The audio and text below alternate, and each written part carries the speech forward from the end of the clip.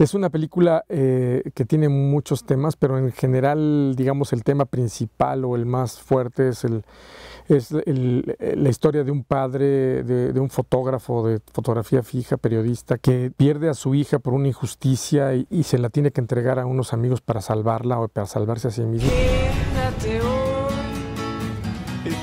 solo hoy,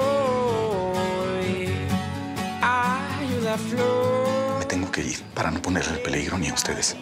Te prometo que voy a regresar por ti. Pero la película también tiene muchos otros subtramas y muchos personajes y también suceden dos tiempos, en los 90 y en la época actual. Desde que escribí el guion tiene, tiene un poco de comedia, tiene un poco de drama, tiene thriller, tiene, tiene acción. Es un proyecto grande, es un proyecto ambicioso. Para mí este es el proyecto que más alto presupuesto ha tenido de los que todos los que yo he hecho.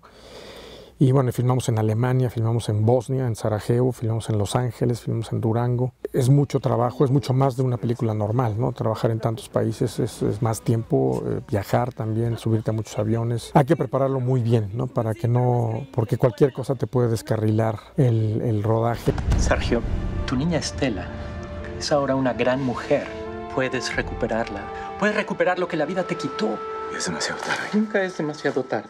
Juan Manuel es un gran actor. Eh, trabajamos juntos hace muchísimos años y no habíamos vuelto a trabajar y yo lo llamé justamente para, para esta película que lo vi muy claro como el, protagonista. Tener a él y a Sam Trammell juntos, por ejemplo, fue padrísimo trabajar con ellos juntos. Pocas películas te puedo decir que con todos y cada uno de los actores, de, de hasta el que dice una línea nada más o inclusive los que salen algo pero que no hablan, en pocas películas puedo decirte que estoy contento con todos y en esta creo que estoy contento con todos, absolutamente. Bueno, soy Jorge Ramírez Suárez, estoy aquí en una sala muy bonita del IMCINE y los invito a que vean La Gran Promesa.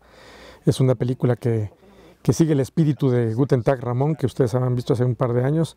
Este, espero que vayan al cine este 5 de octubre y la disfruten. Te amo. Tu hija.